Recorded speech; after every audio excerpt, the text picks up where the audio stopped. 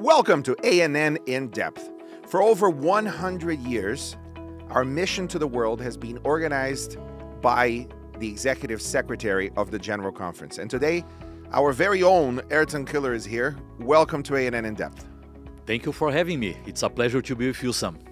Erton, ever since we restructured in 1901 and 1903, so over 100 years ago, the role of the executive secretary was to coordinate our mission to the world, Yes. especially to low entered areas and non entered areas. You have been in this role now for a few years, and I want to find out how we are doing with our mission. I've heard, I hear you talk a lot about mission refocus. Yes. And I, that's the subject that I want to address today. What is mission refocus? What are the main emphasis, and and what do we expect in the future? well, you are the one raising the questions for me, but let me raise a question for you. How many hours we have to talk about it? this is something that we can spend hours talking about because we have a lot of information, initiatives, and many things. But mission refocus. Number one, Secretariat is the one in charge of the mission, the worldwide mission of the church. Since 18, 1863, when the church, the Seventh-day Adventist Church, was organized, mission was related to Secretariat. The secretary was the one to, to manage the correspondence of the church, the letters, and all these things, but mainly focus on the mission. At that time, we didn't have an international mission, but we have a local mission in the United States. Later, we sent the first missionary, and secretariat was involved on that. But when the church was reorganizing, 1912, ni- 1901 and 1903. Oh, let You- me you- correct it. 1901, 1902, 1903. Yes, Is it right now? That is correct. Perfect. Perfect. the Secretariat was much more involved in the worldwide mission. And after that time, we have many different phases of this movement in the church. When we talk about mission refocus, we like to, to evaluate how many mission refocus we had during the church history. And in many times we invested, invested, invested in mission, and we start to lose the focus, and church need to come back with realignment of mission. And it's exactly what we are doing now. Mission Refocus is a movement with two different emphases. Number one, we are reorganizing our missionary sending. Just to share some data with you. Two years ago, when we started to work on this movement, we recognized that almost 400 ISEs, that's the name, the, the acronym that we have for our missionaries, we have almost 400 of them working in the field. 82% of them were working in activities that are not or were not related to the frontline work, to the frontline mission. It means important positions, they are needed there, but the term missionary means people opening the work in challenging places of the world. And they were teaching in some of our schools and universities. They are physicians, they are working for ADRA, they are administrators of the church. Again, all important positions. It's probably in places where they need someone coming from other parts of the world to work there. But we believe that we need to use other financial resources to keep those people working in these areas. But money that we need to invest in mission, we need to use for those that are working in the front line, opening the work, planting churches in urban areas and many other places. It means we have a project now that in 10 years we are planning to have 70% of all our missionaries that I call ISEs, because again, this is the acronym that we have, 70% of them working in the front line, working with urban areas, working with uh, countries, and work with people groups. We have three major mission windows that we call. The 1040 window, we'd like to send the major number of them to that area. We have the post Christian window, it involves some areas of the world where the values are moving far and far from the biblical principles. And number three is the urban area or urban window. Those three windows are our priority. And our plan is to send 70% of our missionaries to work in that area or in those areas to open the work there. This is the first emphasis of mission refocus the reorganization of the missionary sending. And the second one is an invitation for everyone to send missionaries to everywhere. We are trying to, to, to awareness people that they need to understand that the structure of the church is not restricted to one specific territory. everybody is responsible for everybody. We're a family. We are all integrated. It means if we have some areas of the world where the mission is growing, we have leadership, we have money, we have church structure and everything, and other areas where we don't have anything, those areas where the church is progressing, they need to help those areas where nothing is happening there. It means if nothing is happening, they don't have leaders, they don't have money, they don't have initiatives. How they can move forward that? Only if others will send some kind of resources or people to them. It means we are calling all the divisions, all the organizations, all the institutions to to pay attention in the world and we are helping them to understand the world context and start to send their children, their people their missionaries, paid by them, sponsored by them, to go to other continents and start to work for the church in those areas. This is mission refocus. Number one, sending missionaries to work in front line. Number two, appealing to the world church that everybody need to help everybody or missionaries from everywhere to everywhere. That's a phenomenal summary of a very complex operation let me pull some threads that I yes. heard in this process. So, in the first thread, you mentioned that 70% of our missionaries need to go to the front line of mission. And if I understood correctly, there is you, you are creating a distinction between the front line of education, the front line of humanitarian work, the front line of, of medical work, yeah. to the front line of proclamation.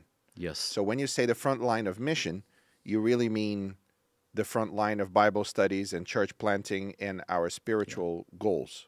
Sam, I, I, I'm always concerned when we talk about this specific subject because all the missionaries that I, I mentioned to you, 82%, that are working in areas that are not frontline mission, they are working in missionary territories. Okay? It means in those territories they don't have leadership they don't have people specialized in some specific areas and they need to ask for others to come and help them. It means they are in the mission field, but they are not working in the frontline mission. It means they are not planting churches or house churches or training new or new local missionaries and all these things. Our idea now is we need to keep some of them working where they are because they are helping to keep the structure, and that structure will manage the work of the missionaries. If we lose the structure, if we lose the leadership, nothing will happen in that place. It means we, we are planning now to keep 30% of all our missionaries in those positions, in the mission field, but not totally involved in the frontline work maybe leading the work, maybe teaching to prepare the new missionaries for those territories, maybe in the health area, maybe in the humanitarian area, because they are very strategic for the church. But we recognize that the major part of our missionaries they need to be in the front line. And this is the movement that we are managing right now. How is it going? It's going well. I mentioned to you that we have 10 years to implement this project. We are now in the second year. And we have many, many good news. Uh, just uh, 2022 was the first year that we, we started to talk about it. And we appeal for the divisions. If you have some budgets, because we work here with budgets, how many cost one missionary, and we can assign some of these budgets for some divisions, and they can use those budgets for missionary purposes on their divisions. They will manage that. We don't work here micromanaging where they will send people, who will be that person. They can find the person, they can decide the place, and we'll help them to find the right person and send there. We give budgets for the divisions, and they manage that. In 2022, one division returned four budgets for us, saying, you know, we can find local people to manage those areas. That's amazing. We voluntarily? Sending, they did yes, that voluntarily. They sent back four budgets saying, send these budgets for places where they need much more than us. That's amazing. Last year, we had two divisions. One of them returned one budget, and I know that they they did a huge sacrifice to return that budget. But the message that they sent to us we are returning that budget because someone that were working for us came back to their territory and we recognize that we can find a local one the same idea and we are returning that budget because you can send it to a place without any Adventist presence or something. And the second division last year surprised us because they sent us back seven budgets saying You know, we, we had some people not working in the front line, and we decided to keep some of them in our territory, but we'll pay all the cost. And others, we send them back to their territories. And now, here you have seven budgets to use to sponsor missionaries to go to the field. That I'm talking just about one, one and a half year, and I expect much more. We are saying for some divisions, some you don't need to return the budgets for us. We are not requesting you to return and return. We are just asking you reassign. reevaluate, mm-hmm. reevaluate them and reassign them. If we have someone working as an example as a, a university teacher, the question is, could you keep that person there and pay all the cost? And you can use that money to send another missionary inside of your territory, but in a place or for a place where that person will plant a new church, will open the work there. It means the former missionary will remain there, but you pay everything. And the money that you spent with that person, now you use for someone in the front line. We are appealing to them. If you can return, it will be excellent. We can manage here and send to other place. But if not, reassign it inside of your territory. But be sure that the money that we are investing in missionaries is being investing majorly in those that are working in the front line, opening the work of the church in non-entered or low entered territories. This is a profound shift, and I want to talk about the implication of this shift. Having thought about it for a couple of years, I see that the church has two paths to finishing our mission. One path is to look at the difficult to enter territories and to say we need to resource the General Conference with as much money as possible so that we can send these missionaries everywhere. Mm-hmm.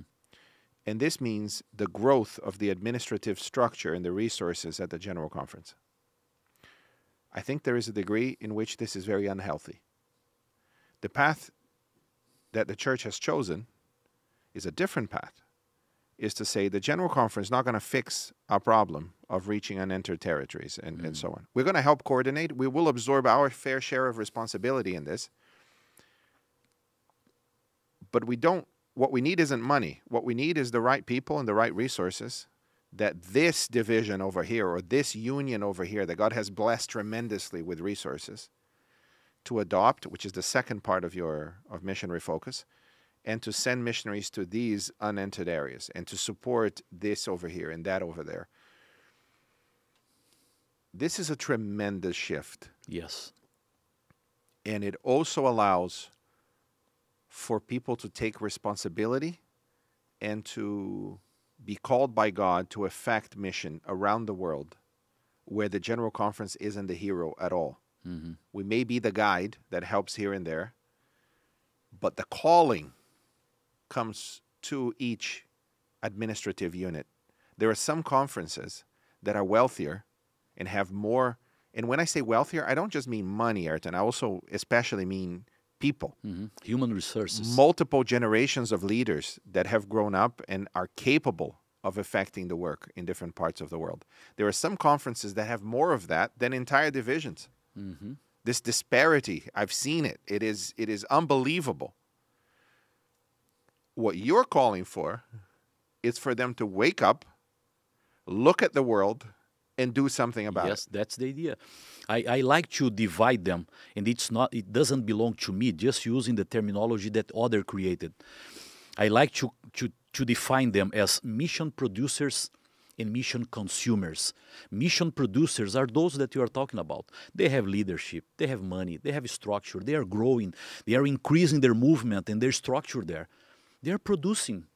They need to start to help those that are mission consumers. They don't have anything. They need to consume it from others. And I need to say to you that something amazing is happening in this area. I have a clear uh, confidence in my heart. And again, it doesn't belong to me. It's from the spirit of prophecy. Jesus will not come only for those that are fulfilling the mission and growing the church in their territory. Jesus will come for the entire world. It means if in Mexico or in South Korea or in Brazil, everything is working well, the church is growing, and we reached all the population, sharing books, using media, social media, and everything. It's nice. But what about North Korea? What about uh, other countries? They'll be there. It means they need to, to hear God's voice. They need to understand the message. It means if I'm just focused on my territory, I can celebrate everything is going well, but Jesus will not come just for us. He will come for the entire world. It, it means, is only when the whole world hears. Yes, it means Jesus everybody needs to work together to say, we are reaching our territory, we are helping to reach the world because we would like to prepare the way for the second coming of Jesus. I like to tell them, you are protagonists and partners. You are local protagonists. This is your major initiative, your major priority, but you are partners with us in the rest of the world. Let us try to keep both initiatives in mind. Good news about it. I will not mention the name of the divisions, just to respect all of them because everybody uh, is doing their best. And when I mention one or two, maybe I will not be correct with the others. Sure. We have one division, for example, that until the end of this year, they will send 50, 50 50 missionary families to other territories than their territory. They will send them to the world, to Asia. And are they sponsoring those families? And they will pay 100% of the cost. That is of unbelievable. Those, of those 50 families that will leave their territory and will go to Middle East and Asia, basically. Wow. We have a second one. And I'm talking about them and thinking in their names, but I will not mention. The second one they will send almost 20 families. They will sponsor all Amazing. of them. We have a third one that is one of the divisions that is located in one of the most challenging areas of the world. But they met with all the, the, the, the, the leaders, the local leaders, and they raised an offering for five years. And they are able to send 55 missionary families. They will send a little bit less than 40 for their territory because they have a lot of challenging places there. Everybody is helping to reach part of their territory, and almost 20 families they will send to the world. And you can imagine in my in my mind, we don't have the final numbers because we are talking with them. We are not micromanaging this movement. We are just motivating them. Do what you can do. Do what you can do. You can communicate from your division to the next division. You can find the best way to help them, how long it will be, how much money you invest on that. We are just motivating them to do that. It's a very soft movement. But I expect in the next five years, I expect to raise a movement of 200 mission families leaving their territory and going to the world to reach territories that we are not reaching. Again, non reached or low reached territories or people groups. You can imagine that? It's a real it's beautiful. huge movement. This is mission refocus in a practical way. Erton, we are in this moment in the episode where everything seems great. Movement is happening. I want to bring some data that will destroy this happy moment. Please. There are over seven and a half thousand people groups in the world who don't know who Jesus is. Yeah. It's not that they don't understand the Sabbath, they don't even know who Jesus is. And the major part of them are in Asia. They represent over 3 billion people. Yeah. These are 3 billion sons and daughters of God that have no idea that He has not given up on them and that He's coming back for them. Yeah. You're totally right. Then I go to Chiapas in South Mexico to a GAIN event where there are 1,500 people focused on using technology to finish the work. 80% of them are under 18 years old, Erton. 18 and younger. If we are going to finish this work, it means that some of those young people are going to go somewhere else. Mm-hmm. They will use digital, sure, but they will also go in their physical bodies somewhere in the world. But an 18 year old cannot sponsor themselves. Mm-hmm. They can't even sponsor themselves in their own territory most of the time. So it will require our membership uniting in this sending, in this ekbalo, you know, in this sending out of our missionaries, of our people to different parts of the world. We have a history of this. We've been doing this for over 100 years. Another data for you. You are opening a lot of doors. yes. Wow. There are 400,000 Christian missionaries in the world. These are full time missionaries working in different parts of the world. Mm-hmm. We represent less than a thousand of them. Mm-hmm. for the remnant church that's been called by God to proclaim this to every tribe, every language, every nation, every people group, we do not have any sense that Adventism is leading in this at all. 400,000 missionaries were responsible for less than a thousand of them. hmm I don't think, maybe you do, probably you do, but my feeling is that as a church, we have no idea what Mission Refocus will do. If we take this seriously in the next 10, 15 years, if, if Jesus is to come back in the next 10, 15 years, then this Mission Refocus would be the movement that we need To prepare the way. to prepare. There are some local churches that have more resources in terms of people and finances than different conferences and unions in different parts of the world. Mhm. There are some local churches that could send missionaries. They have the funds. Why don't they? But some all things that you are mentioning is just giving me reasons why we need mission refocus. Yes. You know, you mentioned about the people groups and all these things. Our major challenge is the 1040 window. When we talk about the 1040 window, we have two major challenges inside of that window because the 1040 window involves Africa, Middle East, and Asia. Our major two challenges are Middle East and Asia. Middle East, we don't need to speak a lot about that.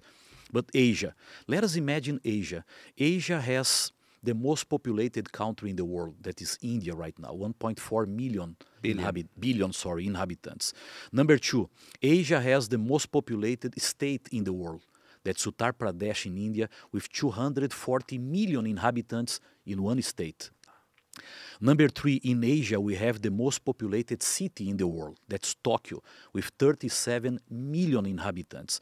In Asia, we have the most populated island in the world. That is Java in Indonesia, with 140 million people there. You can imagine the size of our challenges when we start to think about it. They can't move forward alone. They need to, to receive some extra support to reach those people. You mentioned more than 3,000 or 3 billion people. It's 3.5 billion people that didn't hear about Jesus.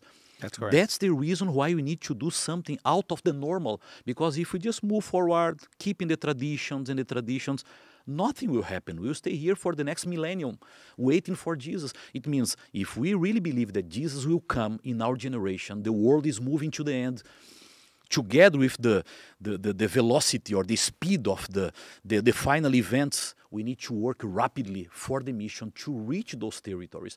And I truly believe that God will open doors if we start to organize ourselves to do something. Praying and asking for the power of the Holy Spirit, God will open doors and miracles will happen. And the church will move forward. I'm not totally concerned about the number of missionaries because for the Lord, He doesn't need a lot of people to do the work. He needs the right people in the right place and will do the work. Gideon and many others can remind us about that. But you talked about the local churches. We are talking about divisions, institutions, organizations, and the local churches. They can send their young people as volunteers and they can pay for that. Usually, a volunteer, that person, he or she needs to pay the ticket to go to the place where they will go go easily. Some churches can pay a ticket for a young person. Yes. Number two, they need a monthly stipend to survive in the place where they will be. Generally, It- $150. Yeah, or less. hundred and fifty mm-hmm. dollars. For some place, it's a high, high cost, but for others, it's not. The mm-hmm. local church can send and send, and if they need some kind of support, they can go to the local field and talk with the global mission director or the secretary, and they can help to, to put them in contact with us. We have a website or a platform called Vivid Faith, vividfaith.com. Everybody can access this platform, and there we are plenty of opportunities for mission around the world for employees, for volunteers, and many others. They can find ways to go. But I have another concern, and I am promoting it in some areas of the world. We are talking about missionaries, but we also need to prepare local people to take care of the church in some of our territories. And what I'm challenging some local churches is why not to sponsor a theology student in some of our universities in Asia or in the Middle East. They have young people there, good young people that are there, but they don't have the resources. Hmm. They don't have the structure. Maybe a local church can say, in Middle East, for example, an year for a student involving the, the housing, the food, the, the, the, the, the study or the cost of the study. For one year, $12,000. It's not too much. It's $1,000 per month.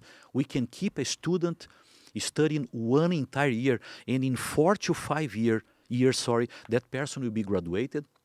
That will be a native person speaking the local language huh. without all these international costs that usually you have to send families to other places. Why not you start to think? Sending missionaries, number one, excellent. Number two, sending volunteers. It will be nice. The young people will be changed through the volunteer service in those areas of the world.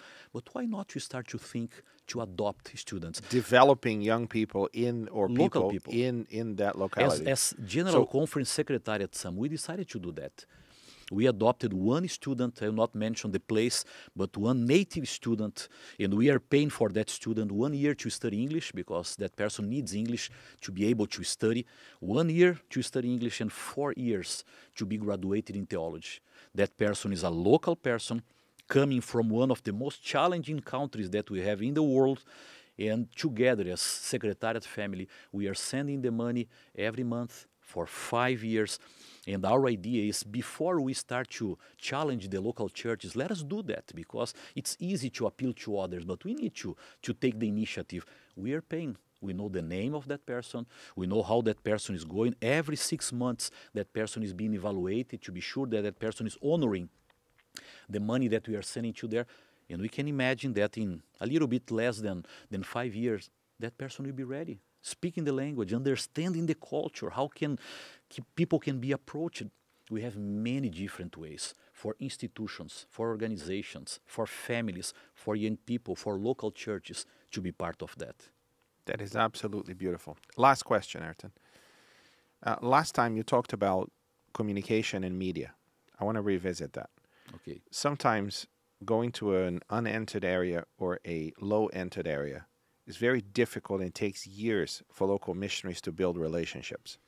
And you've talked before about media being the entering wedge, a way to build those relationships so that by the time the missionary comes, there is already an interest by a, mm-hmm. a larger number of people that they can then follow up with and and be more direct in presenting and praying for them and taking care of them and providing pastoral care and Bible studies and so on to start a church somewhere. Mm-hmm. In some areas, that's illegal, so it makes it very difficult. But in many areas, it's not illegal, it's just very difficult. You mentioned Tokyo, for example, and there are many others.